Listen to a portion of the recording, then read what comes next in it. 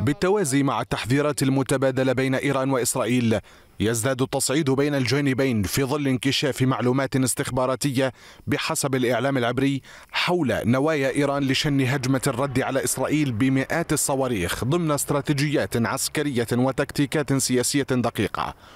فأمام رغبة إيران في الانتقام المدروس يجد حلفاؤها أنفسهم في موقف حرج إذ أن حزب الله حليفها الرئيسي يعاني من ضعف ملحوظ في بنيته التسليحية بحسب خبراء.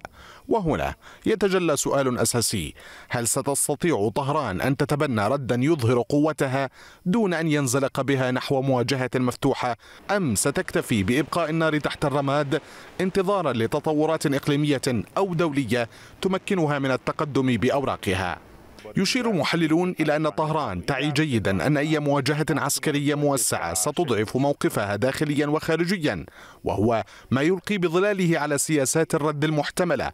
وتحديدا يحذر الخبراء من أن القيادة الإيرانية قد تلجأ إلى تنفيذ رد محدود وموجه يحافظ على توازن الردع دون أن يفتح الباب أمام حرب لا تستطيع طهران تحمل تكاليفها في ظل العقوبات الاقتصادية وأوضاعها الداخلية المتأزمة.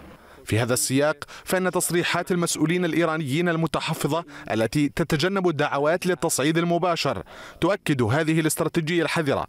فالمرشد الإيراني علي خامنئي نفسه قد شدد على أهمية التريث وضبط النفس ما يشير إلى تبني إيران لسياسة الصبر الاستراتيجي التي تمنحها الوقت لقراءة التحركات الدولية خصوصا مع اقتراب الانتخابات الأمريكية. والتي قد تؤدي إلى تحولات في السياسة تجاه المنطقة.